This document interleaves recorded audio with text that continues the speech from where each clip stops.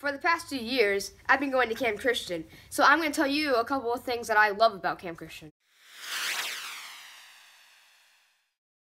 First of all, I'm going to talk about fishing. Fishing fishing is great at Camp Christian because um, you go down to the little creek part, and there's actually you can catch like these big these big fish that are like this big, and they're so big.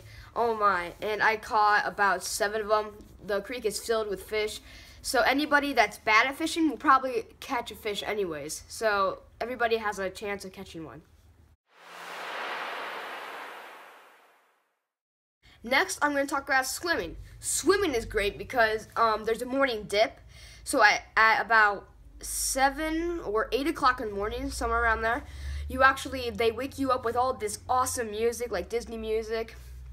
And they say, morning campers, time for your morning dip. And so you go down to the morning dip if you want to, and you can swim in there for a little bit. Usually the, the water is cold, but sometimes it's warm depending on the type of weather. Next, I'm going to talk about crafts. Crafts are great because um, you can make like tons of stuff. Last year we made plants and we put um, we put seeds in there, and then at the end the the uh, the plants were about this is the cup, and then the plants actually come up like all the way up to here.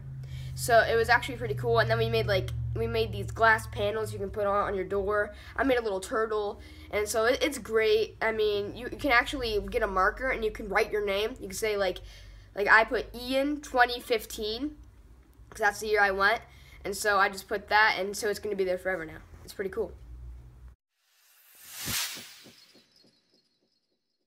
Next, I'm going to talk about boating. Boating is the worst for me because, well, you go in a canoe or a kayak and you swim, and there's a giant sprinkler in the middle of the lake, and me and, and me and my friend Lincoln that's go to the church. I mean that goes to the camp with me. We got stuck in the sprinkler and it we were wet. They didn't allow us to change our clothes. But that's okay because it was warm and so we got dry super quickly. But boating is not my favorite. It might be your favorite though. Next is Vespers.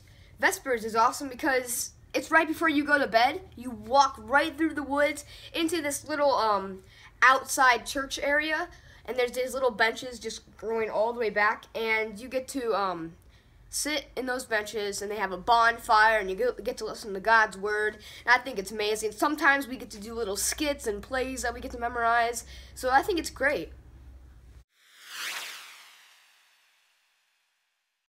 And finally, I'm going to talk about the hoedowns. The hoedowns are great because I think it's on Mondays and Wednesdays, I'm, I think, if you say an entire week.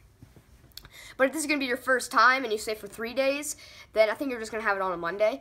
But the hoedowns are great because you actually get to uh, pack your, like, be before you go to camp, you get to pack your things. So pack, like, so make, make sure to pack, like, a cowboy hat or some or a cowgirl hat or something like that or some boots for, for the hoedown.